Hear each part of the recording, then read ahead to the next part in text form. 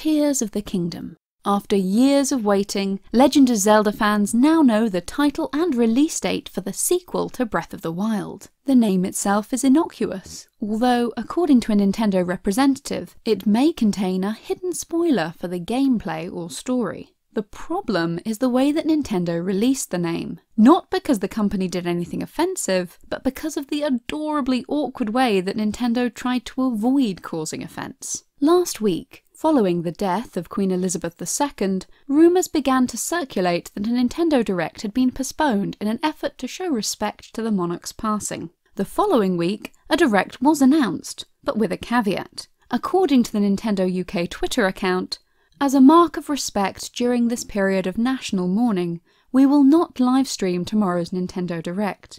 It will be published as a video on demand on our YouTube channel at 1600 hours UK time tomorrow. This seemed at the time downright perplexing. How would publishing a video at 4pm be any more respectful than live streaming the same video at 3pm? especially given that most British Nintendo fans simply watch the Nintendo US YouTube stream instead. Not long after the end of the reveal, coming as it did with the announcement that Breath of the Wild 2 was to be called Tears of the Kingdom, commenters online began to put two and two together. Did Nintendo delay the Nintendo Direct and refuse to livestream it in Britain for fear that the game's title was problematic? Was anyone at Nintendo genuinely afraid that people might think the kingdom in question was the United Kingdom? The title, as mentioned, is supposedly related to the content of the game in a meaningful way. According to Nintendo Treehouse spokesman Bill Trinen, as for why we're holding back on the name, you'll just have to stay tuned because, obviously, Zelda names are kind of important. Those subtitles, they start to give little bits of hints about maybe what's going to happen.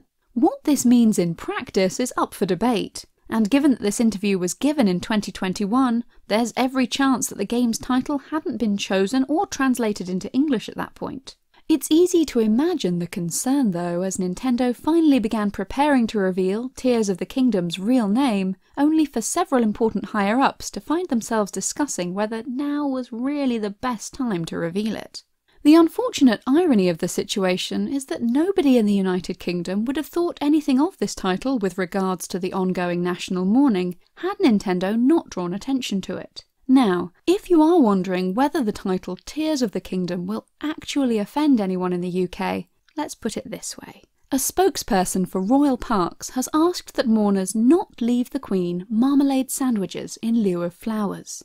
This is because in a sketch where Queen Elizabeth met Paddington Bear during her Platinum Jubilee this summer, she joked that she always keeps a marmalade sandwich in her handbag. According to the spokesperson, in the most British way possible, we would prefer people didn't bring marmalade sandwiches due to the wildlife. Thus, even the people within Britain who are upset enough to leave flowers for the Queen are finding a light-hearted way to mourn. It is extremely unlikely that any British person is going to take serious offence to the name of a new Zelda game. There are some words that have appeared in Nintendo games that have caused offence in Britain, but we'll let our friend Thomas GameDocs tell you all about that. There's a link in the description. Nevertheless, it is very sweet that Nintendo has done their best not to upset anyone in the UK with an ill thought out Nintendo Direct announcement, even if the delay has ultimately created the exact scenario they'd been afraid of. The moral of the story one often meets his destiny on the road he takes to avoid it.